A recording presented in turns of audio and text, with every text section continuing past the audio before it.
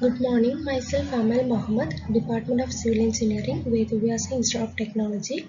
Today I am here before to present a tech talk on the topic braced frames.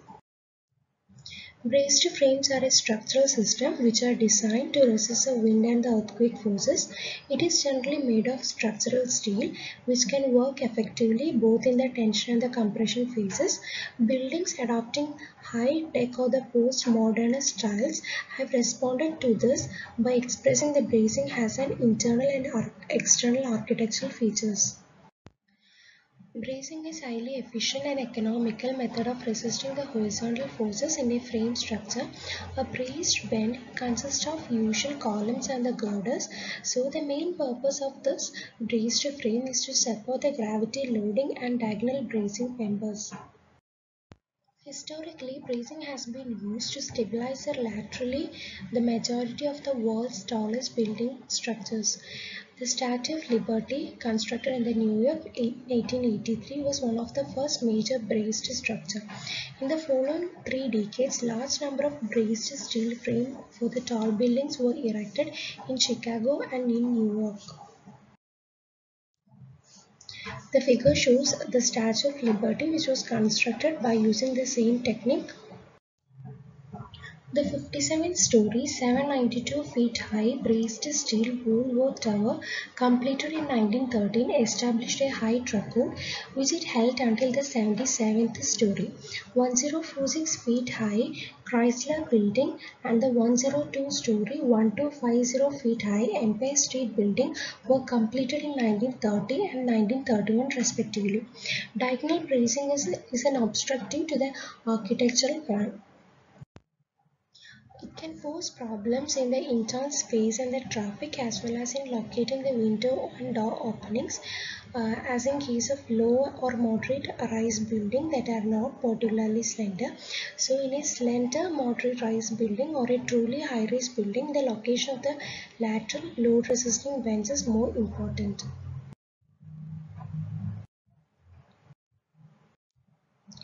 Types of the bracing system.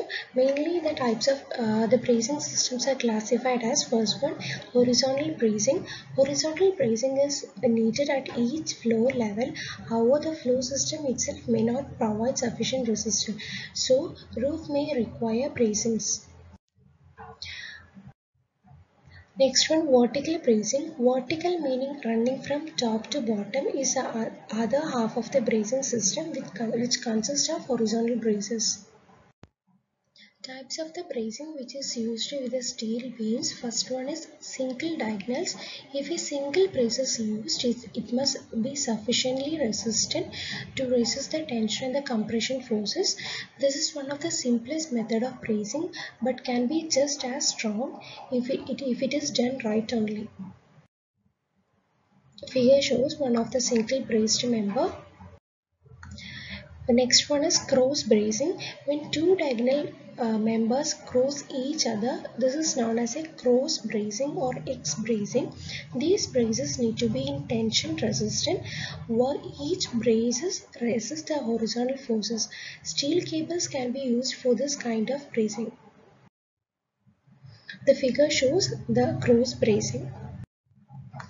Third one, K bracing. Typically, K bracing connects two columns at the mid height and is thus more flexible to working around the windows and generally results in reduced bending in floor beams.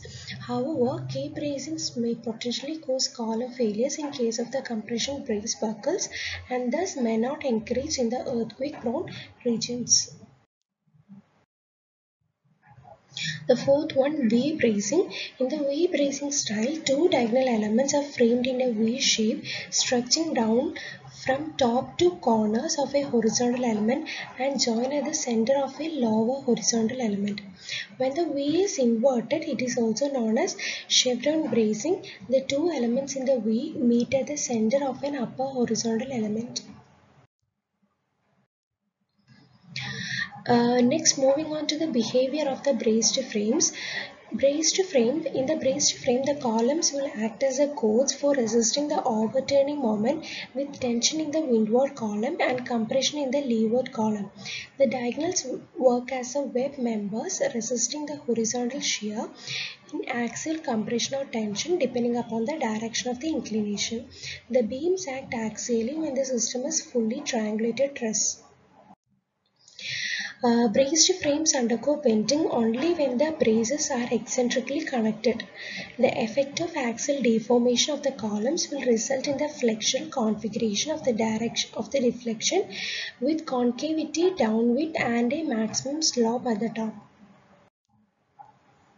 The axial deformations of the web members on the other hand will cause a shear configuration of deflection with concavity upwind and a maximum slope at the base and a zero slope at the top. The resulting deflected shape of the frame uh, will be a combination of the effect of the flexural and the shear curves with a resultant configuration depending upon their relative magnitude as determined mainly by the type of bracings.